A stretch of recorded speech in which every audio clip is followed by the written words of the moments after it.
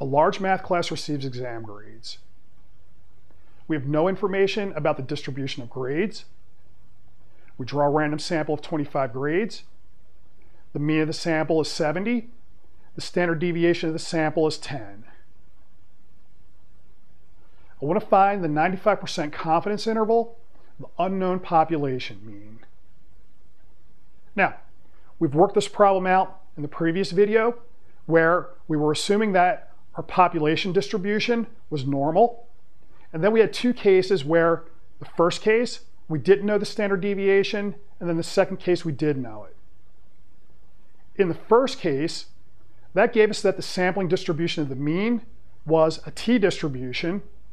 In the second case, where we did know the standard deviation, we had a normal distribution. Now, the case we want here, we have n less than 30 and no information about the population distribution. So our only hope is to pull out Chebyshev's theorem. Okay, Chebyshev's theorem applies to any probability distribution where you can compute the mean and the standard deviation. And then the results that come out are going to be kind of crude. Okay, what Chebyshev's theorem says, the area within k standard deviations of your mean is going to be at least 1 minus 1 over k squared if k is greater than or equal to 1.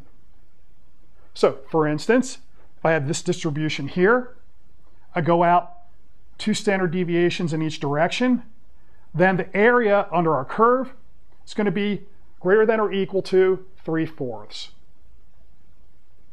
So to make this work in our problem, well, I want a 95% confidence interval, okay, and that's going to have two tails. So Chebyshev is going to apply. We want the area under the curve to be 0.95. So what I'm going to try to do is figure out how many standard deviations I need to go out to get the 0.95. So I'm going to set 0.95 equal to 1 minus 1 over k squared. I solve for k and I get 4.47. So going to be the analog for the t or the z value in the previous problem. Now, if I want to set up a confidence interval, I need the center. So going to be given by our sample mean, which is 70. For the standard deviation, okay, we want the standard deviation of the sampling distribution. So we take whatever standard deviation we have available. In this case, we're going to take it from our sample. So it's going to be 10. And then we divide by the square root of our sample size. So that'll be square root of 25, which is 5. So our standard deviation of the sample distribution is going to be a 2. Now, confidence interval, you take your center plus minus, okay, your factor times your standard deviation. So I wind up with 70 plus or minus 8.94 for the endpoints, or our confidence interval goes from 61.06 to 78.94.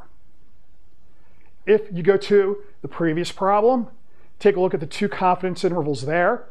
You'll note here, since we have even less information than we did in our previous problem, this confidence interval is going to get even wider.